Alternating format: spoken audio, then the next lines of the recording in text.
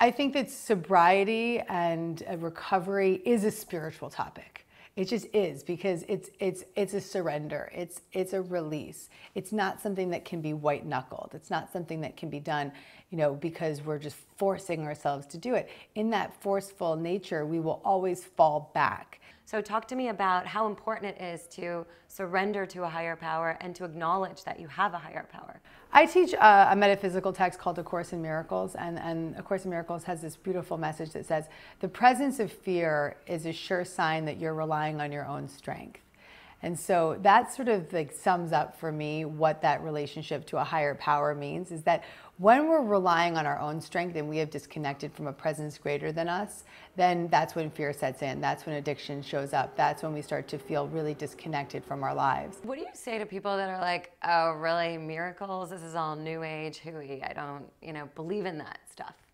You know, simply put, a miracle is a, as a shift in perception. It's just when we change our mind.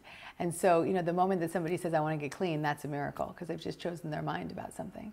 So it's, it's not such a big, you know, baffling moment in life. It can actually just be a moment when we say, I choose to see this differently. Hi, I'm Gabrielle Bernstein, and I believe that a spiritual path is the road to recovery.